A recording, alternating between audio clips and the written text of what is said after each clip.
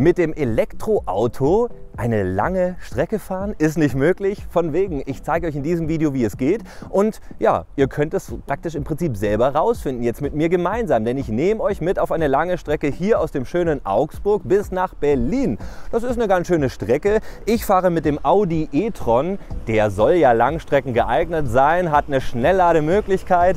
Wie das Ganze läuft, an welchen Ladesäulen ich genau halte, wie oft ich stoppen muss. Bisher sind drei Stops A20 bis 25 Minuten geplant. Und wie das dann nachher ist im Vergleich zu einem Diesel oder Benziner, das finden wir jetzt gemeinsam raus. Los geht's! Ich habe das Auto natürlich zu 100% vollgeladen. Das empfiehlt sich immer, wenn man eine lange Strecke macht.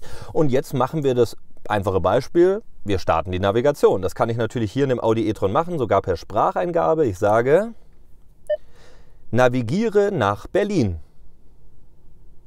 So, und jetzt schauen wir mal auf den Bildschirm. Bitte warten Sie einen Moment, während ich nach Zielen für Sie suche.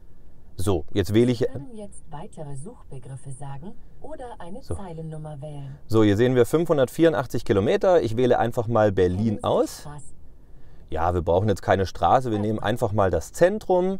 So, muss ja nicht so jetzt genau auf die Straße sein. Hier wird es jetzt angezeigt. Hier wird auch so Wetter und allem drum und dran angezeigt. Aber jetzt kommt ja das Spannende.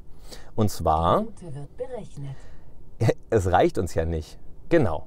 Hier, e-tron Routenplaner ist jetzt hier eingebaut, Batterieladung nicht ausreichend, sollen Ladestationen entlang der Route eingeplant werden? Natürlich, ich will ja nicht zwischendurch stehen. Und jetzt rechnet das Auto ganz schlau. Hier sehen wir so einen blauen Umkreis, das zeigt er mal an, wie viel Reichweite er so gerade hat. Und hier seht ihr, ist die erste Ladestation in Himmelkron, ja, 150 kW Ladestation, also die schnellstmögliche Geschwindigkeit. Danach sollen wir dann einmal nochmal beim McDonalds Halt machen und das war's dann schon?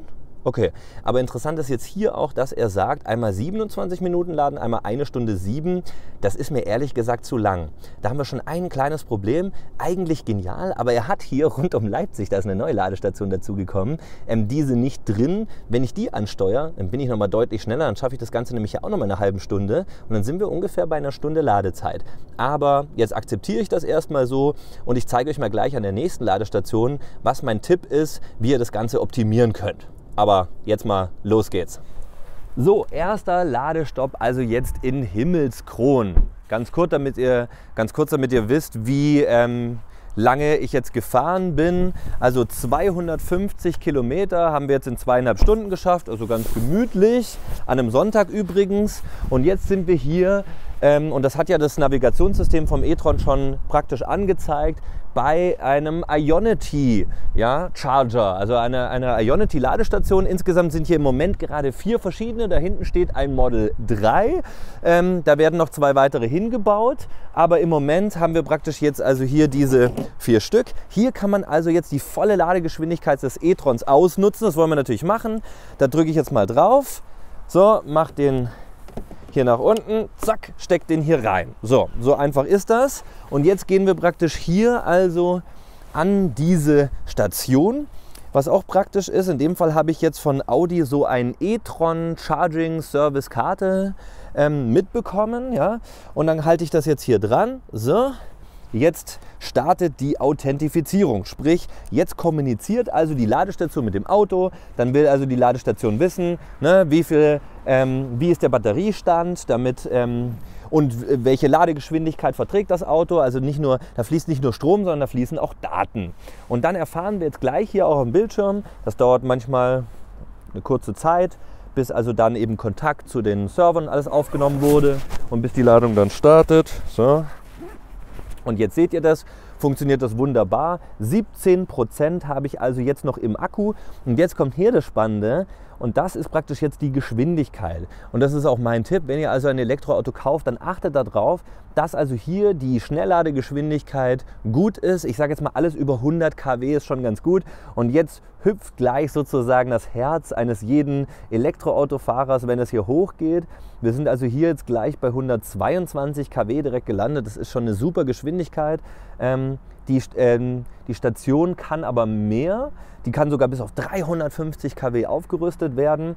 Ähm, jetzt ist der Akku ähm, sozusagen, der fährt jetzt noch so ein bisschen hoch, weil der unter 18 Prozent ist. Sobald er hier bei 20, 25 Prozent ist, geht das Ganze dann hier auf bis zu 150 kW nach oben. Und das geht so schnell, ihr seht das hier, 19 Prozent schon. In der Zeit, in der ich jetzt gesprochen habe, ist schon von 17 auf 19 Prozent hoch, dass ich eigentlich gar nicht lange Zeit habe. Ich will nämlich noch mal ganz kurz hier auf die Toilette und noch was essen. Und da muss ich mich eigentlich schon fast wieder beeilen, um wieder rechtzeitig zurück zu sein. Und wie das manchmal so ist, da sind schon 45 Minuten vergangen. Da geht mal Toilette, dann läuft man noch wohin, isst was Leckeres, quatscht ein bisschen und schon ist die Zeit rum. Jetzt inzwischen, die Anzeige ist schon wieder aus, weil äh, schon vollgeladen, ja. Ich hätte also auch rein theoretisch, hätte ich noch 10 Minuten ähm, mich mehr beeilt, wollte ich aber gar nicht. Natürlich schon wieder früher losfahren können. Ja, aber so ist das halt manchmal. Also eigentlich wären 35 Minuten, 30 Minuten vollgeladen. Jetzt sind 45 Minuten vorbei, deswegen jetzt schnell weiter zur nächsten Ladestation. Jetzt gibt es nur ein kleines Problem, zum Beispiel mit diesem e-tron Routenplaner. Er hat mir ja vorgeschlagen, dass ich jetzt zu einer nächsten Ladestation fahre. Ähm, die ist aber nicht optimal. Leider hat das System, obwohl es echt gut ist, wie ich finde, von Audi, jetzt aber noch nicht einen nagelneuen, er ist jetzt erst seit wenigen Tagen oder Wochen geöffnet worden, nagelneuen Ionity Charger rund um Leipzig noch nicht im System. Und deswegen ich kann euch nur empfehlen, schaut mal unten im Videobeschreibungstext, ladet euch mal noch die App Charge Map runter. Da könnt ihr auch immer noch eine Routenplanung reinmachen, immer ein bisschen gegenchecken, weil die Systeme sind schon gut, aber noch nicht perfekt.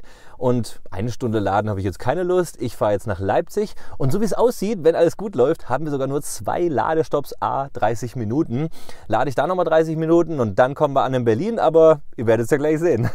Jetzt bin ich an der letzten Ladestation angekommen und das ist ja die zweite. Also insgesamt zwei Ladestops reichen mir vollkommen aus.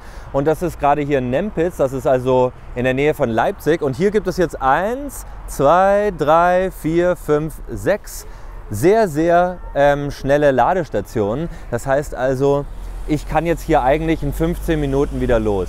Weil, und das ist ganz wichtig für euch zu wissen, ich muss ja jetzt nicht das Auto wieder komplett vollladen, sondern ich habe jetzt noch ungefähr 80 Kilometer Reichweite drin, brauche noch 190 bis nach Berlin. Dann rechne ich noch ein bisschen Puffer ein und lade mal so ganz grob irgendwie 130, 140 Kilometer nochmal dazu, weil ich kann dann nämlich in Berlin ankommen und dann ähm, kann ich dort, ja hallo, da grüßen mich Menschen ganz nett, ähm, kann ich ja dort ihn dann dran stecken an die Ladesäule über Nacht laden. Das heißt also, ich kann im Prinzip ja fast mit 0% Ladung ankommen, vielleicht mit 5% Puffer oder sowas. Und dann funktioniert das auch. Also ganz wichtig zu wissen, bei Elektroautos lädt man immer nur so viel, wie man also benötigt für die Strecke. Also ich mache mal hier schnell einen Stopp und dann äh, mache ich mal eine kleine Zusammenfassung dann aus Berlin, wenn wir angekommen sind. Ich bin jetzt in Berlin angekommen und jetzt gibt es das Fazit. Kann man mit Elektroautos Langstrecken fahren?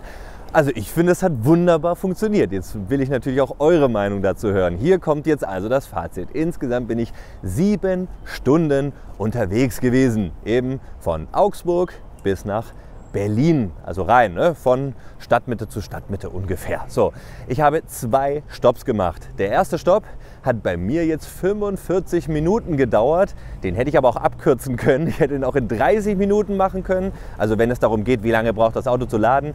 Ich habe aber einfach ein bisschen noch Zeit verbracht, noch ein bisschen entspannt gegessen und dann hat das halt 45 Minuten gedauert.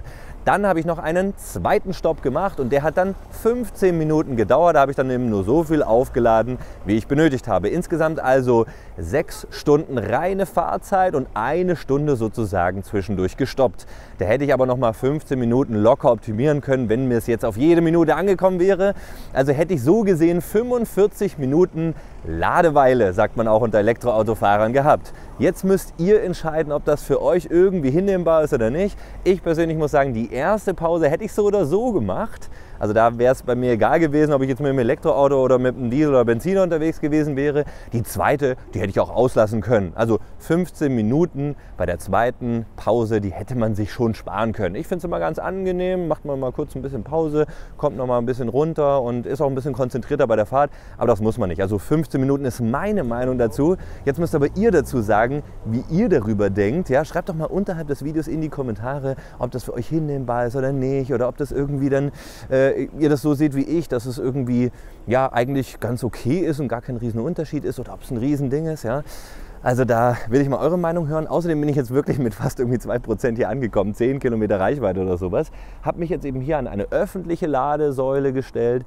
Ähm, das dauert jetzt auch irgendwie, glaube ich, acht Stunden, bis das Auto wieder voll ist. Ist aber gar kein Problem. Das lädt ja jetzt über Nacht, parkt dann gleichzeitig auch hier. Und morgen früh stecke ich es dann wieder ab, vollgeladen und kann rein theoretisch wieder die ganze Zeit nochmal fahren. Also ich will eure Meinung dazu hören, ob dieser Roadtrip und so eine Langstrecke mit dem Elektroauto aus eurer Sicht gut ist. Und dann freue ich mich auch, wenn ihr in Zukunft weitere Informationen rund um die Veränderung der ganzen Mobilität, auch in Richtung Elektromobilität, hier auf dem Kanal Robin TV Blau hören wollt. Dann abonniert den Kanal rechts unten kostenlos. Und dann sehen wir uns hoffentlich schon bald wieder. Bis dann. Tschüss. Ah, abstecken noch. Ist vollgeladen. So, zack. ne, machen wir weg. Warte.